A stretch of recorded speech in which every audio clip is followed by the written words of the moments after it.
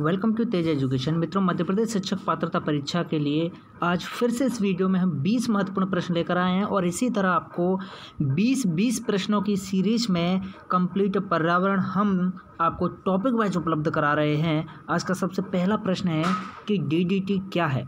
DDT एक खरपतवार निवारक होता है या एक जैव निम्नीकरणीय प्रदूषक या फिर अजैव निम्नीकरणीय प्रदूषक या फिर एंटीबायोटिक तो दोस्तों डीडीटी होता है अजैव निम्नीकरणीय प्रदूषक। ऑप्शन सी इसका सही जवाब। अगला प्रश्न है कि भारत के किस क्षेत्र में अधिकतम भूस्खलन की घटनाएँ होती हैं? तो भारत के कौन से क्षेत्र में होती हैं भाई भूस्खलन की सबसे ज़्यादा घटनाएँ? तो ये होती हैं दोस्तों हिमालय में। ओके, हिमालय क्षेत्र में सबसे ज़्यादा भूस्खलन की घटनाएँ होती हैं।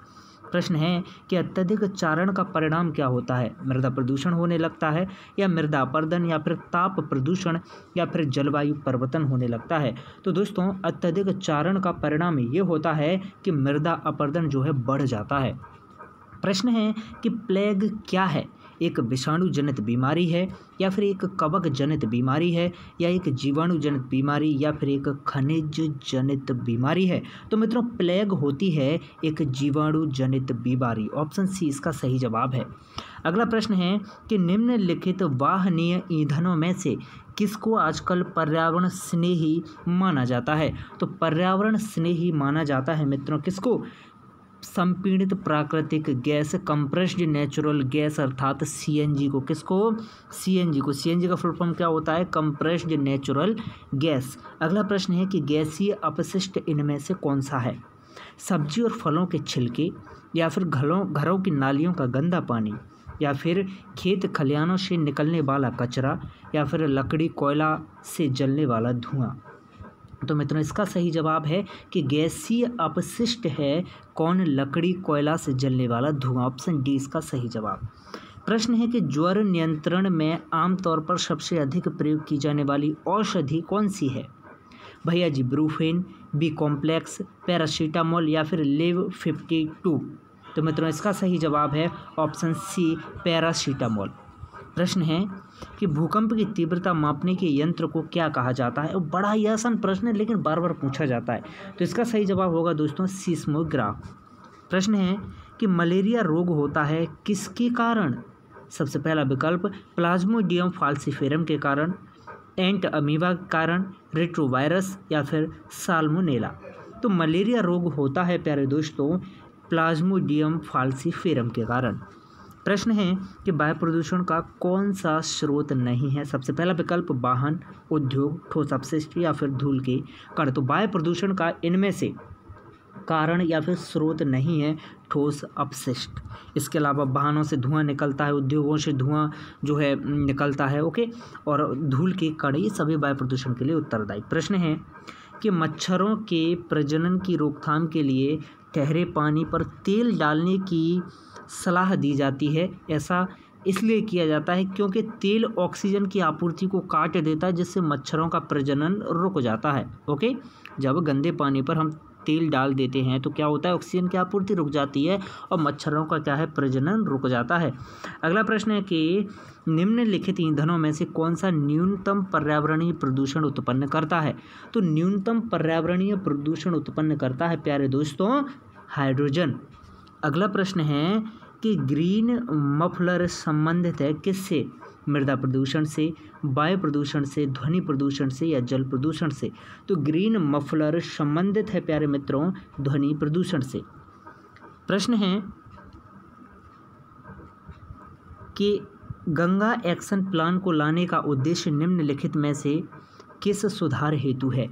तो गंगा एक्शन प्लान को लाने का उद्देश्य है मित्रों, क्या कि भाई, जल की गुणवत्ता को सुधारना। ओके? क्या जल की गुणवत्ता को सुधारना? एक और हमने प्रश्न में देखा कि क्या उद्देश्य है जल को स्वच्छ बनाना, गंगा को स्वच्छ बनाना। ओके? तो वही है जल की गुणवत्ता सुधारना। अगला प्रश्न है कि जल चक्र को नियंत्रित करता है कौन? घास स्थल या फिर वन या प्लवक या फिर उपरोही तो प्यारे दोस्तों, जल चक्र को नियंत्रित करता है वन, कौन? वन। ओके ऑप्शन बी इसका सही जवाब है। अगला प्रश्न है कि चेरनो सॉरी चेनोरविल घटना किससे संबंधित है? भूस्खलन से, भूकंप से, या फिर नाभिकीय दुर्घटना है, या फिर अम्लीय वर्षा है? तो चेनोरविल दुर्घटना संबंधित है प्यारे दोस्तों, नाभिकीय दुर्घटना से। किससे? नाभिकीय दुर्घटना से। अगला प्रश्न है कि भारतीय संविधान का कौन सा अनुच्छेद है जो कि पर्यावरण संरक्षण को प्रत्येक नागरिक के मौलिक कर्तव्य के रूप में पहचान कराता है? तो ये अनुच्छेद है, प्यारे दोस्तों, अनुच्छेद इक्यावन ए।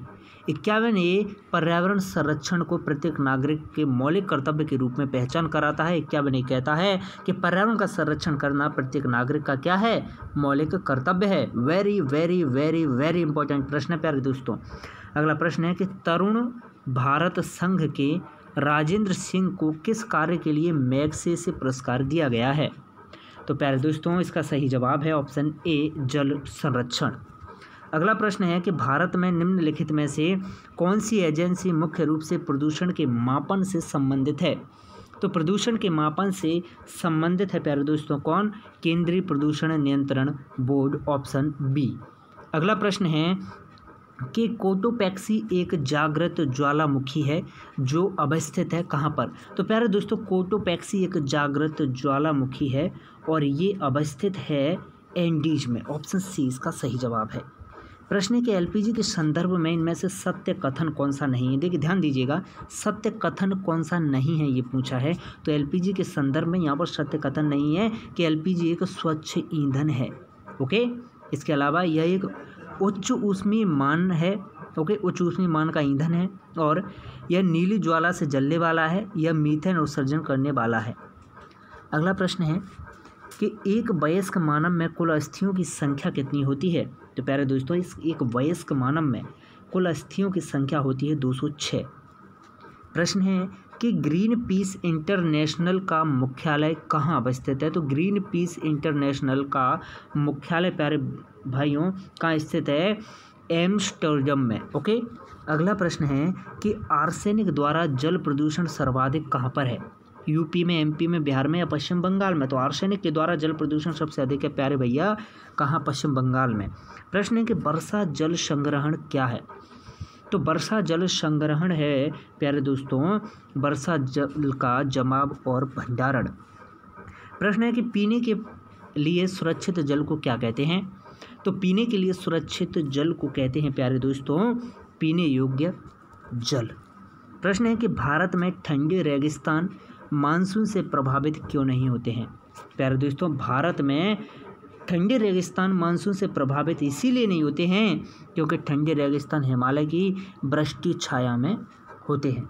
ओके? तो मित्रों, इस वीडियो में केवल इतने ही प्रश्न। उम्मीद करते हैं ये प्रश्न आपको बहुत अच्छे लगे होंगे और सभी प्रश्न परीक्षा के लिए वेरी वेरी वेरी इंपॉर्टेंट हैं और टॉपिक वाइज आपको हम कंप्लीट स्टडी मटेरियल जो करा रहे हैं सौ प्रतिशत इसमें से परीक्षा में आपको मिलने वाला है। कमेंट ज़रूर कीजिएगा और इस वीडियो को अपने सभी मित्रों के साथ शेयर कीजिएगा। पीडीएफ आप व्हाट्सएप ग्रुप में शामिल होकर प्राप्त कर सकते हैं।